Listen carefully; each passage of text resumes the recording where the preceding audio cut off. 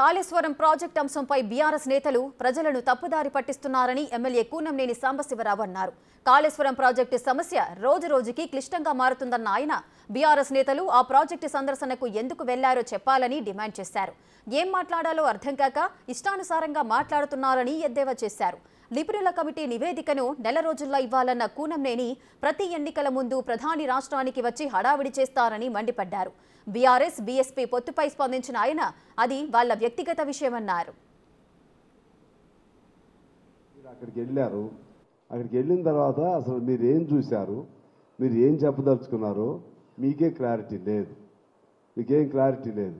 అసలు మీరు అంటే ఏమి ఉన్నటువంటి ఆ పీర్స్ క్రాక్స్ రాలేదని చెప్పడానికి పోయారా? లేకపోతే అటువంటి ఆ వంతెనలో పగుళ్ళు లేవని చెప్పడానికి పోయారా? దేనికి పోయారు అక్కడ? ఉందని మీరే చెప్తున్నారు మళ్ళా. కాకపోతే ఒక ఒకటని ఒకళ్ళు అంటారు మూడు నాలుగే కదా అని ఒకళ్ళు అంటారు. అవన్నీ ఇంతకుముందు తెలిసినే కదా. అవి వెంటనే దాన్ని రిపేర్ చేసేసి నీళ్ళు వదలమని చెప్తున్నారు ఎట్లా చేస్తారు రిపేర్? ప్రభుత్వంగా సొంతంగా చేయలేదు కదా. ప్రభుత్వం చేసేటువంటి అవకాశం ఉంటే మరొకసారి నష్టం వస్తే దానికి బాధ్యులు ఎవరు? మరొకసారి ఇబ్బంది వస్తే బాధ్యులు ఎవరు? మీరు అక్కడికి వెళ్ళి